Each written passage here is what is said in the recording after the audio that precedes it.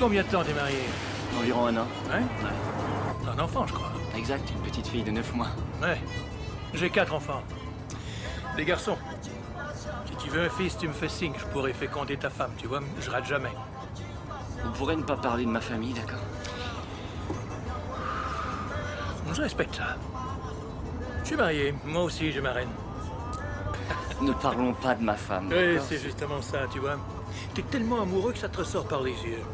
Le jour où t'amènes ta femme au bureau, c'est le jour où toi, tu rentres pas chez toi.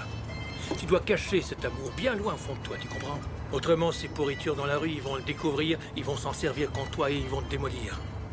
Ne porte jamais ta bague de mariage. Je suis sérieux, tu peux me croire. D'accord, d'accord, merci.